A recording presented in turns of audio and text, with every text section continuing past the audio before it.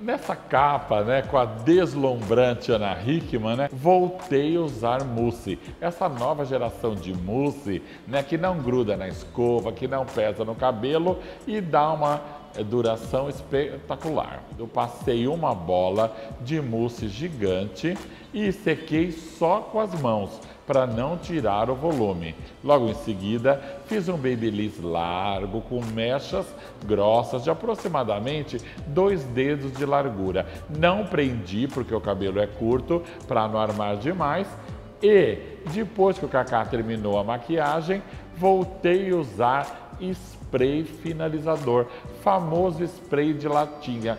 O cabelo durou 10 horas, no final estava mais bonito ainda. Você pode fazer igual. Um beijo, até o mês que vem.